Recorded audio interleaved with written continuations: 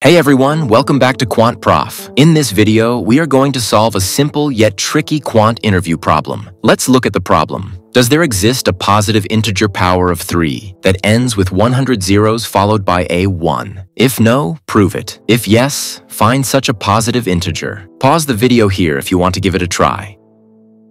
There are many possible approaches to this problem. We will use the binomial theorem. The original problem asks whether there exists a positive integer power of 3 that ends with 100 zeros followed by a 1. We will solve this for the case of three zeros. The same approach extends directly to any number of zeros. Consider an integer power of the form 4m, where m is a positive integer. This can be written as 9 raised to the power 2m, which can further be expressed as minus 1 plus 10 raised to the power 2m. Using the binomial theorem, we can expand this.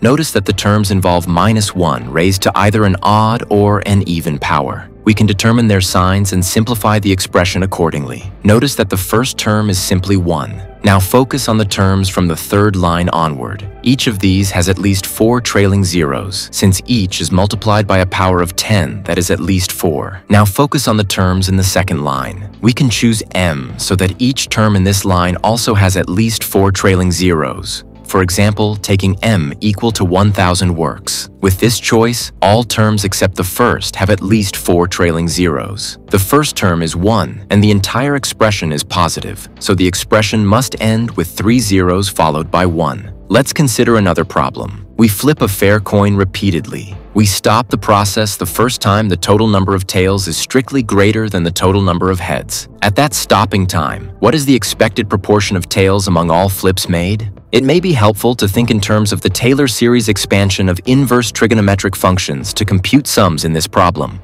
Hope you liked the video. If you want to learn how to solve these kinds of interview problems, we invite you to check out our Course Quant Interview Masterclass, where we teach you how to think when solving difficult problems. We also cover the entire theory, specifically tailored for quant interviews along with over a thousand problems. Thanks for watching and see you next time. Until then, Godspeed.